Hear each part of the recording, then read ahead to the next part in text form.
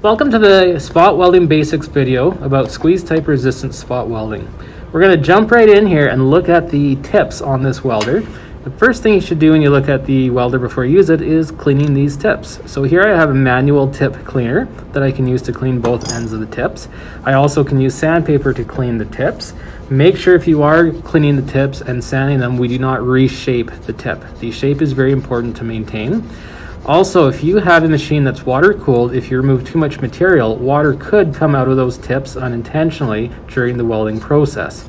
Lastly, outside of using sandpaper or the manual tip cleaner, we can go and use the tip dressing tool in the drill as seen here.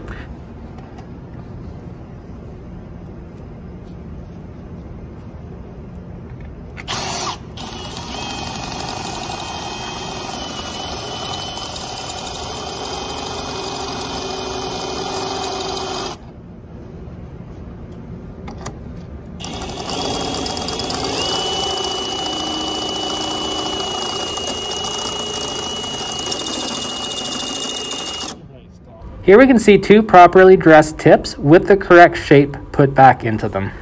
Before welding any metal with the spot welder, make sure that you measure the thickness of it. And here I am using some digital calipers in millimeters. I'm using millimeters because that is what most machines tend to use for the welder setup. I'm measuring the metal in several places because the thickness may vary or there may be some burrs on the edge of the panel that throw my measurement off, so make sure that you are accurate. I've also cleaned the metal on all the mating surfaces and exterior surfaces where the welder will touch the panel, and that is to make sure we have clean contact. I'm holding them in place with shunting pliers, and this is going to set up my welder for a destructive test. I will not discuss welder setup in this video. You should have proper training on the equipment that you are using. But I did set this welder up to the appropriate thickness for this metal and I'm now proceeding with the destructive test and you'll see that I am wearing a face shield for the weld.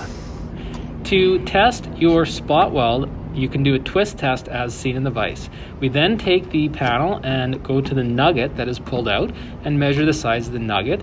This piece of plastic is from I-CAR and depicts the correct sizes. We can also use the calipers to measure the nugget as a width of approximately 5 millimeters in diameter.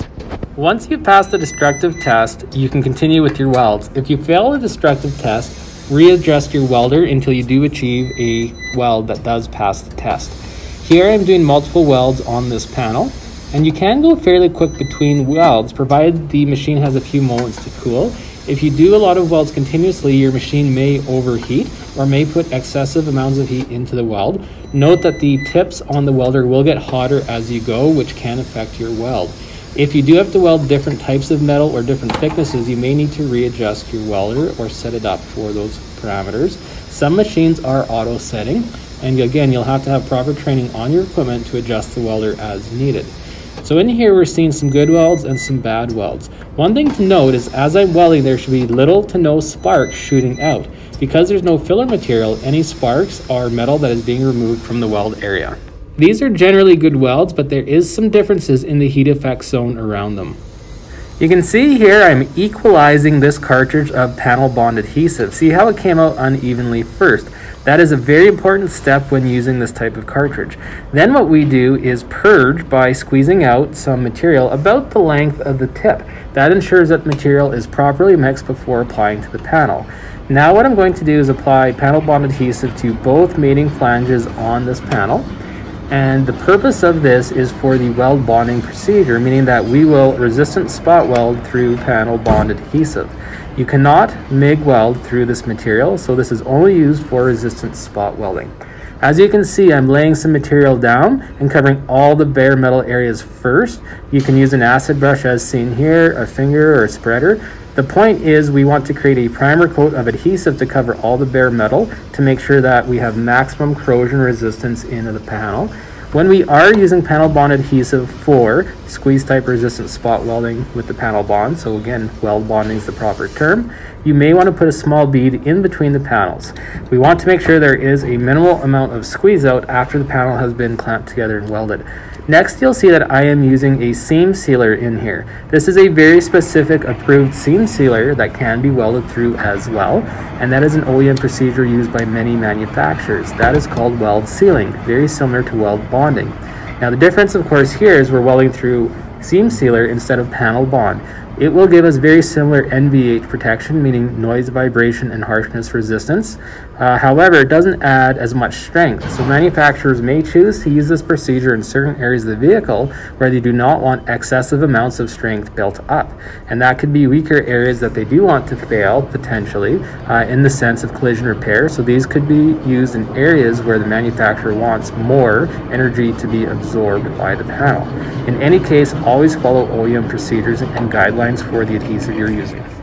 When performing the weld bonding and weld sealing processes, you may notice a slight difference in your welder setup. You may need the heat or temperature or time increased, so your machine may have a setting specifically for these parameters. In any case, always do a destructive test.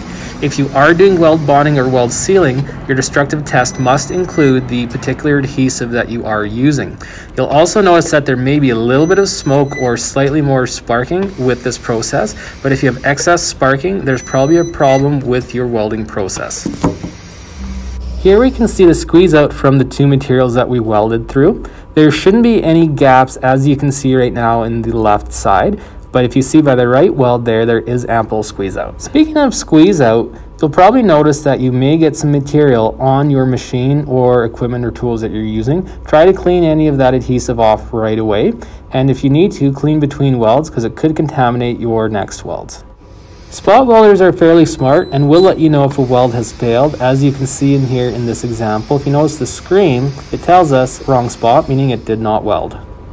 Only use weld-through primer when the manufacturer calls for it. Some manufacturers do not want weld-through primer used. Never plug or MIG weld anywhere near glues or adhesives. Leave at least one inch of space.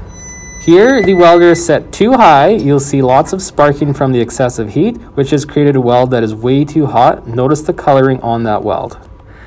Most machines come with different attachments to help when accessing hard to reach areas on the vehicle. Follow the procedures for your machine as you may need to set the machine up a little differently for each of these attachments. Now that we're done, make sure you always follow OEM procedures for the vehicle. You follow the TDS sheets for any adhesives or other products you may be using or welding through, and make sure that you have the proper training on the equipment that you're using in your shop.